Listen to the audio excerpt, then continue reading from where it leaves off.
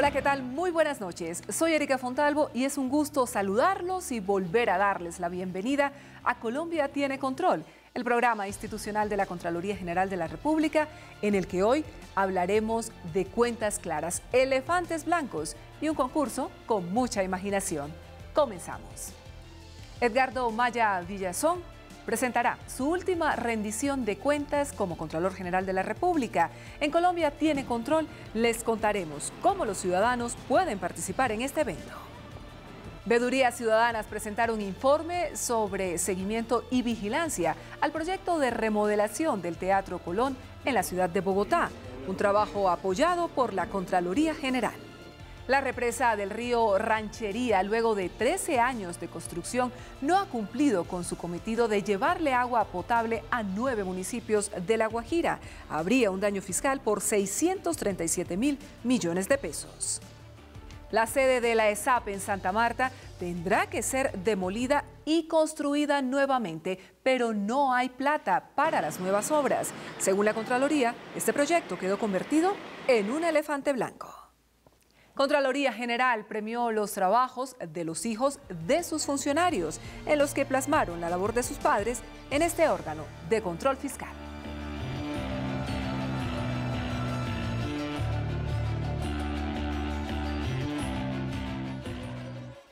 Hace cuatro años, el 4 de septiembre de 2014, Edgardo Maya Villazón asumió como Contralor General de la República. Este martes, 14 de agosto, rendirá cuentas al país de su último año al frente de este órgano de control fiscal.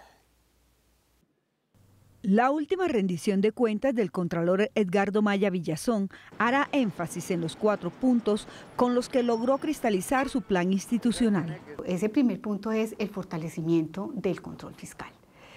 Y fue ese primer punto el que fue concretando en el desarrollo de todo su ejercicio como Contralor y hoy en día tenemos un control fiscal fortalecido con estándares internacionales. Él planteó también otro segundo punto y ese segundo punto es que el pronunciamiento de la Contraloría y el Contralor tuvieran una influencia muy importante en la gerencia de lo público, en la mejora de la gerencia de lo público y las políticas públicas. Pues también, este es otro punto que también se cumplió al pie de la letra. Un tercer punto fue la lucha contra la corrupción. Y un cuarto punto fue tener todo este proceso de fortalecimiento alrededor del uso de las tecnologías. La coherencia en la gestión del Contralor se evidencia en el cumplimiento de las metas. Esta rendición de cuenta va a compendiar todo el ejercicio que ha hecho él durante sus cuatro años de administración. Son los resultados, es una rendición de cuenta de resultados de la misión cumplida. Y, y hay algo muy interesante en la rendición de cuentas y es que muestra cuál es la coherencia que tuvo la actual administración desde su inicio hasta su final. Casos emblemáticos como el PAE, el cartel de la hemofilia, Electricaribe y Reficar, entre otros, tendrán un lugar preponderante en esta rendición. Pero la Contraloría va más allá del ejercicio del control fiscal. Los temas emblemáticos pues tienen que, seguirse resaltando precisamente por eso, porque son emblemáticos y porque se puso el dedo en la llaga de muchos eh, aspectos de, la vida de los colombianos que no era evidente para nosotros. Pero se va más allá del hallazgo, se va más allá del ejercicio auditor y más allá de se encontraron presuntos hallazgos por. Ya se está presentando también en esta rendición de cuentas qué ha sucedido con eso. Se encontraron los hallazgos y qué pasó. Pues ese qué pasó es parte de esta rendición de cuentas también. El contralor Edgardo Maya Villazón deja un legado a la nueva administración, un portafolio de proyectos con un gran contenido de sistemas para seguir fortaleciendo a la Contraloría General de la República. En la rendición de cuentas de la Contraloría General 2018 podrán participar los colombianos a través de diferentes medios. En Colombia tiene control, les explicamos cómo podrán formular sus preguntas e inquietudes al Contralor General y a su equipo directivo.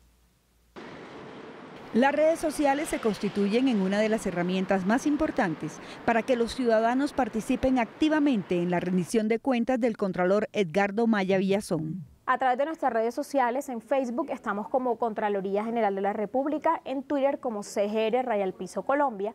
Allí pueden exponer sus preguntas. También hay un formulario que ellos pueden diligenciar y nos hacen eh, sus propuestas de preguntas. Eh, la idea es que la gente participe en todos los rincones del país de nuestra rendición de cuentas. Asimismo, a través del portal web institucional se podrá seguir en vivo la transmisión del evento vía streaming. A través de la Oficina de Comunicaciones y Publicaciones les hacemos eh, llegar información a todos los usuarios a través de nuestras redes sociales, nuestra página web y allí ellos pueden participar haciendo preguntas o también eh, haciendo, poniendo temas que ellos quieren que se traten este día en nuestra rendición de cuentas. La Contraloría habilitó además una línea telefónica para atender especialmente las inquietudes de los colombianos ante la Contraloría General. Vamos a tener... Eh, una línea telefónica que oportunamente les vamos a estar eh, eh, dando a través de nuestras redes sociales, de nuestra página web, donde pueden llamar y hacer sus preguntas. Tendremos preguntas por línea telefónica, preguntas del público, preguntas de redes sociales. La rendición de cuentas se llevará a cabo en el Salón Ágora del Centro de Convenciones de Corferias este martes 14 de agosto. En nuestro flash informativo, entérese en minutos del diario Acontecer de la Contraloría General de la República. El Contralor General Edgardo Maya Villazón entregó al Congreso de la República los informes de las finanzas del Estado, la situación de la deuda pública, la cuenta general del presupuesto y del Tesoro y la auditoría del balance de la Nación correspondientes a la vigencia 2017. En detalle, el Gobierno Nacional Central tuvo un déficit de 3.7% del PIB frente a un superávit de 1.09% del PIB de las demás entidades del sector público consolidado. Cumplo hoy con el mandato constitucional de presentar ante el Honorable Congreso de la República los informes correspondientes a la vigencia 2017 sobre la situación de las finanzas del Estado, la situación de la deuda pública, la cuenta general del presupuesto y del Tesoro, la auditoría del balance de la Hacienda Pública y de la Nación, el estado de los recursos naturales y finalmente la gestión de la Contraloría que incluye no solamente el año 2017, sino un breve compendio de los cuatro años míos como Contralor General de la República. En tal sentido, considero que estos informes deben ser revisados e interpretados con un enfoque de evaluación de eficiencia y eficacia de los recursos públicos en todos los niveles del gobierno.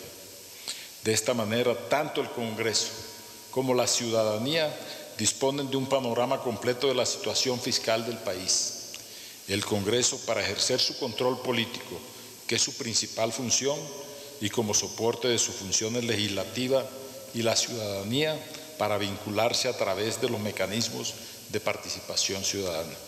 Los superávits se presentaron en los subsectores Seguridad Social, Regalías y Establecimientos Públicos Nacionales, entidades territoriales y Fondo Nacional del Café, mientras que se presentó déficit en empresas no financieras. Se destaca la mejoría en el resultado fiscal de las finanzas del Gobierno Nacional Central, que disminuyó su déficit en 0.3 puntos porcentuales en 2017, explicado por los mayores ingresos obtenidos en la vigencia en comparación con el incremento de los gastos. Es tiempo de realizar una pausa. En Colombia tiene control, pero no se vayan, todavía tenemos mucho más para contarles. Los dejamos con nuestro clip informativo.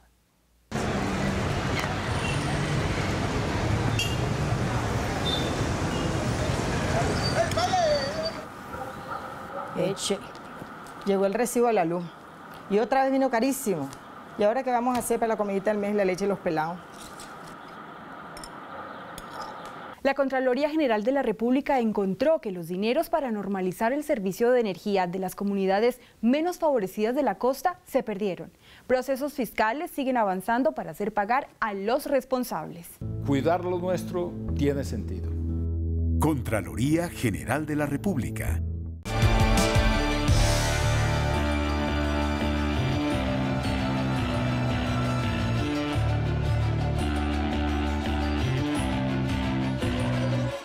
Gracias por seguir con nosotros. Las veedurías ciudadanas presentaron un informe sobre la labor de vigilancia y seguimiento que realizaron al proyecto de remodelación del emblemático Teatro Colón de la ciudad de Bogotá, un trabajo de participación ciudadana que contó con el acompañamiento de la Contraloría General.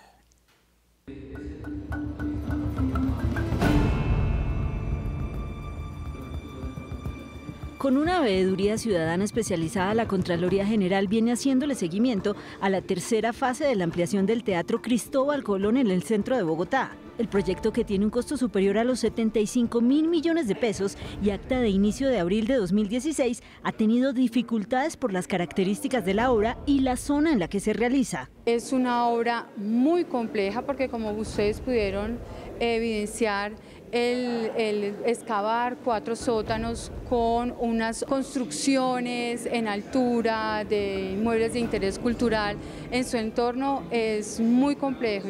Pues de alguna manera ha tenido que hacer un trabajo muy cuidadoso eh, con respecto al aislamiento que hay que hacerse con esas obras vecinas. La Veeduría Ciudadana Especializada presentó un segundo informe de cómo avanza el proyecto e hizo recomendaciones al Ministerio de Cultura. Actualmente no se encuentran aprobados los ajustes a los diseños estructurales y arquitectónicos del proyecto y en ese sentido pues es lo que es necesario es hacer una reprogramación o una proyección real de cuál sería el tiempo en el que finalizarían las obras, que como comentó el Ministerio, pues se acaba de firmar un otro sin número 4 y en ese sentido se va a hacer una ampliación a diciembre 31 del 2018 y la idea es que allí eh, pues se defina en este tiempo, se pueda definir esa proyección real de cuándo finalizaría la obra. La Contraloría General que acompaña el proceso veedor también llamó la atención sobre las dificultades que hoy presenta la obra. Son varias, pero yo resaltaría el tema de la necesidad de fijar un cronograma eh, para el resto de la obra que quede, para el resto de la obra. También el tema de establecer em, pues, cuánto va a costar lo que queda de desarrollo de la obra y también la necesidad de que se prorroguen los contratos porque la obra no se va a terminar en el tiempo que se había previsto inicialmente. El Contralor General Edgardo Maya resaltó la importancia de este proyecto y del papel de las veedurías ciudadanas que la ciudadanía participe, que los actores calificados, como están aquí, la Cámara de Comercio, la Sociedad de Ingenieros, los arquitectos, las personas conocedoras del tema cultural, pues intervengan y opinen sobre lo que se está haciendo. Según el informe de la veeduría, el avance de la obra que inició en 2016 es del 38%.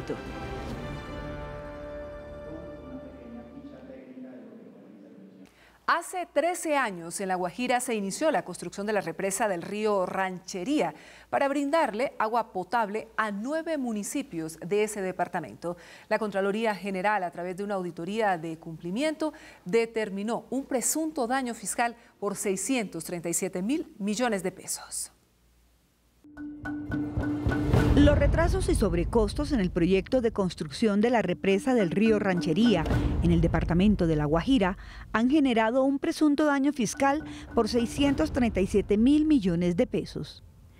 Este hallazgo corresponde a la fase 1 del proyecto que se inició hace 13 años.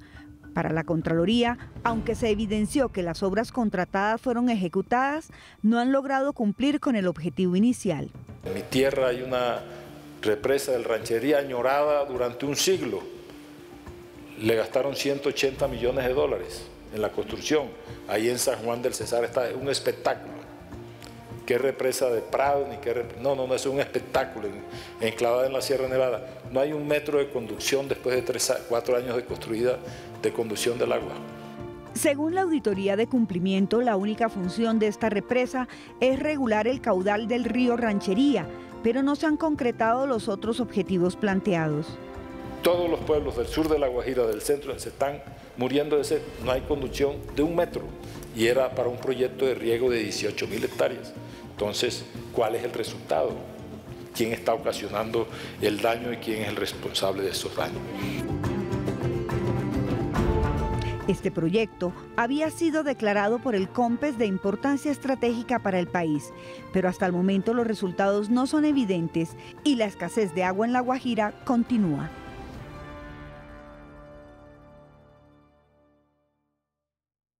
En un elefante blanco terminó convertida la nueva sede de la Escuela Superior de Administración Pública ESAP en Santa Marta. La Contraloría General concluyó que la edificación, hoy en obra negra y en la que se han invertido más de 4 mil millones de pesos, tendrá que ser demolida y levantada nuevamente. En 2011, la Escuela Superior de Administración Pública, ESAP, y FONADE firmaron un convenio para construir, entre otras, una nueva e imponente sede en Santa Marta. Pero hoy, siete años después, así luce la obra, totalmente abandonada e inservible, y los estudiantes siguen recibiendo clases en aulas arrendadas. El convenio celebrado para que inicialmente se culminara en 12 meses, tuvo cinco prórrogas y todavía en 2014 concluyendo la quinta prórroga, no se había culminado.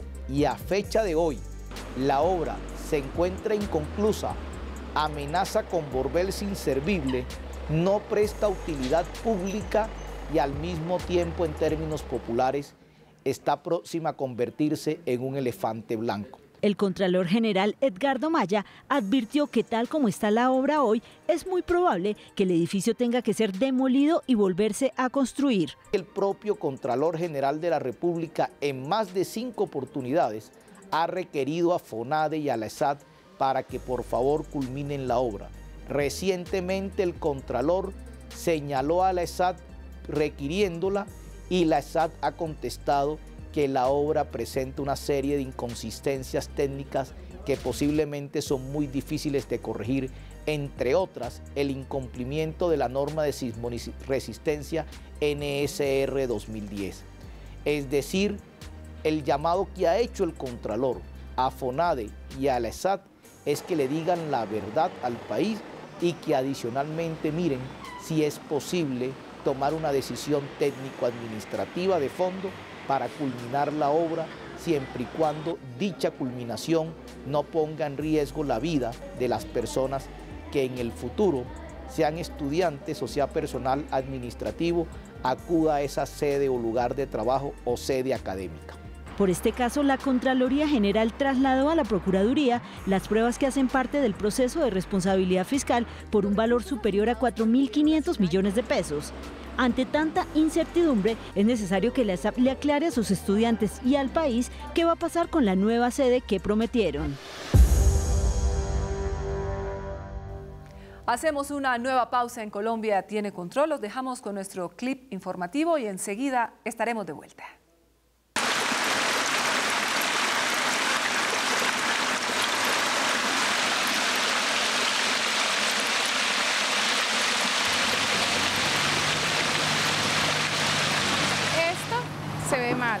Cuando contaminan nuestros recursos naturales, todos perdemos. El daño ambiental es inevitable. La Contraloría General de la República descubrió que las autoridades ambientales no hacen el control y seguimiento adecuado a la minería. Procesos fiscales siguen avanzando para hacer pagar a los responsables. Cuidar lo nuestro tiene sentido. Contraloría General de la República.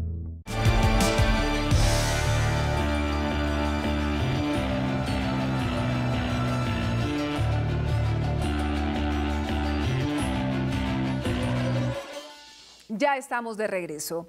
La Contraloría General adelantó un particular eh, concurso en el que participaron los hijos de los funcionarios de esta entidad. En Colombia tiene control, les presentamos los mejores trabajos de cómo niñas y niños ven a sus padres en la labor diaria que realizan para vigilar los recursos públicos. A propósito del cumpleaños número 95 de la Contraloría General, la entidad organizó un concurso al que convocó a los hijos de los funcionarios para que en sus palabras explicaran cómo le aportan sus papás a la transformación institucional. Pues recibió la invitación de parte de la institución dentro del programa FOCO y se emocionó muchísimo porque pues, recibir una invitación de manera inclusive formal, pues eso lo motivó mucho, que era inclusive con tarjeta.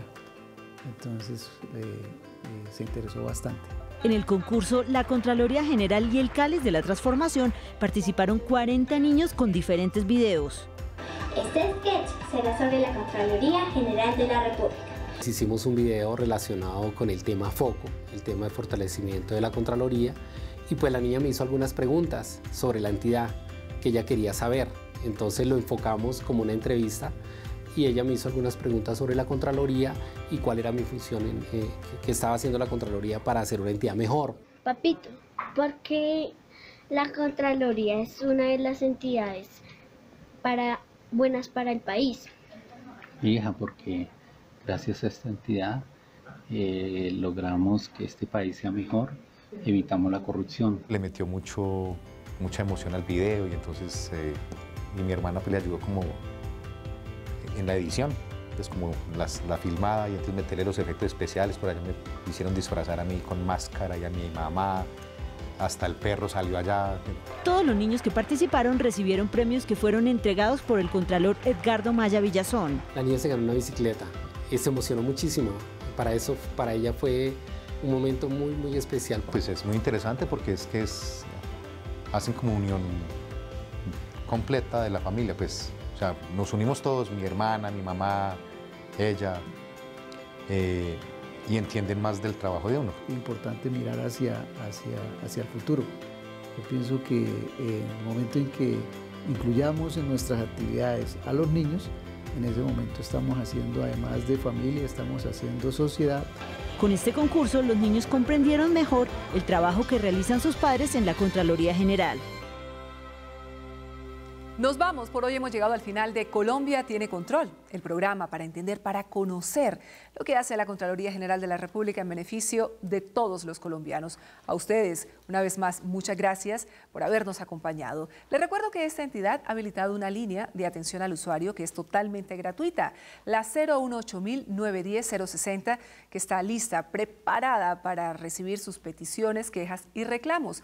También pueden llevar a cabo sus consultas en la página www contraloría.gov.co. En redes sociales nos encuentran en Facebook como Contraloría General de la República y en Twitter arroba CGR-Colombia. Tenemos una cita la próxima semana cuando todo este equipo periodístico de Colombia tiene control, tenga listo para ustedes un nuevo capítulo de nuestro programa. Así que nos vemos. Muchas gracias y hasta entonces.